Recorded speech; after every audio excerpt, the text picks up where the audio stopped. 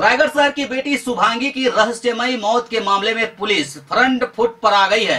कोतवाली पुलिस ने 24 घंटे के भीतर आरोपित पर हत्या और बलात्कार का मामला दर्ज कर लिया है। सूत्रों के मुताबिक मृतिका के साथ मौत से पहले बलात्कार हुआ था, जिसके बाद उसकी मौत हो गई थी। पुलिस ने इस मामले के आरोपित किशन चौहान को कल ही हिरासत में लिया था, जिसके बाद पूछताछ के दौरान किशन चौहान ने अपना अपराध कबूल कर लिया है। रायगढ़ शहर की बेटी शुभांगी की रहस्यमयी मौत के मामले में पुलिस फ्रंट फुट पर आ गई है। कोतवाली पुलिस ने 24 घंटे के भीतर आरोपित पर हत्या और बलात्कार का मामला दर्ज कर लिया है। आपको बता दें कि मृतिका के साथ मौत से पहले बलात्कार हुआ था, जिसके बाद उसकी मौत हो गई थी।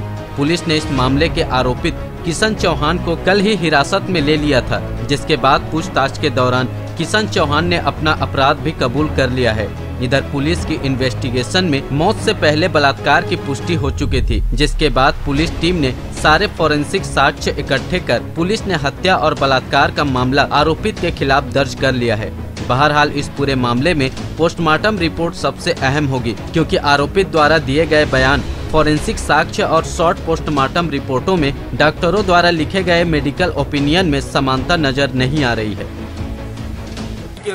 पूरा न्याय मिले और उसको जो भी दोषी है जो भी जिस प्रकार का है उसको सजा मिलना चाहिए। आपको संदेह इसमें क्या क्या लग रहा है पूरी घटना में? गलत तो हुआ है अब क्या हुआ है उसको हम नहीं बता सकते। मैं भी अपना ड्यूटी गया था ड्यूटी से आके घर में लेटा हुआ था।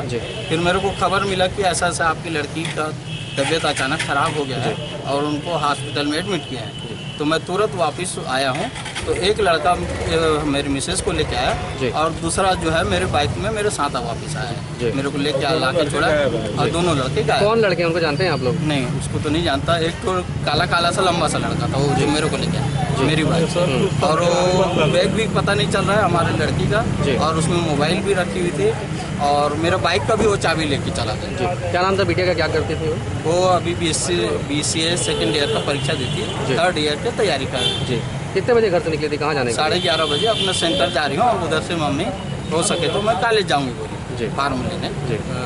महिला महाविद्यालय में उधर से फिर मैं ऑफ़िस तो आप लोगों को कितने बजे पता चला कि तबीयत खराब है या हॉस्पिटल में एडमिट डेढ़ पौने दो बजे के आसपास मैं ठीक वापिस ऑफ़िस से वापस। आया और उतने टाइम पता चला जाँच होनी चाहिए मामले की लगता है संदेहास्पद है पूरा ये जाँच तो होनी चाहिए ये कौन से कोचिंग सेंटर जा रही थी? ये दिशा ऑनलाइन में जा रही थी। कहाँ पर आपका शुभ नाम ये अपने घर के बगल में ही है। थोड़े से आगे। शुभ नाम आपका? अनूप सिंह गौतम आपको। क्या क्यों लगता है कि ये संदेहास्पद मामला है? क्योंकि मेरी लड़की सीधी शादी कभी कहीं नहीं निकलती थी। सेंटर जाती थी सेंटर से। स्वस्थ थी पूरी तरह से? हाँ, अस्वस्थ थी। कहीं भी कोई बीमारी की ये नहीं था। रात को हमारी बड़े भैया की लड़की का उसका आज बर्थडे था। तो मनाएँगे करते रात को उन लोग बारह एक बजे तक केक वेक काटे हैं खाए पिए नाचे गाए। और एक बजे वापस आई है और सोई। कल दिनांक को जिला अस्पताल में एक युवती की मृत अवस्था में कुछ लोगों द्वारा वहाँ अस्पताल में छोड़ा गया था जिसको पंचनामा पश्चात पीएम कराने के लिए भेजा गया था। उसी दिनांक को मृतका के पिता के द्वारा एक आवेदन प्रस्तुत किया गया है, जिसमें उन्होंने बताया कि उनकी पुत्री को, के साथ अनहोनी हुई है और घटना घटी है। उस आवेदन के आधार पर थाना कोतवाली में अपराध क्रमांक पाँच सौ एक के पास सौ एक पंजीबद्ध किया गया जिसमें आईपीसी की धारा तीन सौ पैंसठ, तीन सौ बयालीस, तीन सौ छिहत्तर और तीन सौ दो के तहत आईपीसी के तहत अपराध पंजीबद्ध किया गया है। साथ ही आरोपी किशन चौहान को हिरासत में लिया गया है और उसे जुडिशल रिमांड पर जेल भेजा गया है। रायगढ़ से सुरजीत कौर की रिपोर्ट ए एसीएन 24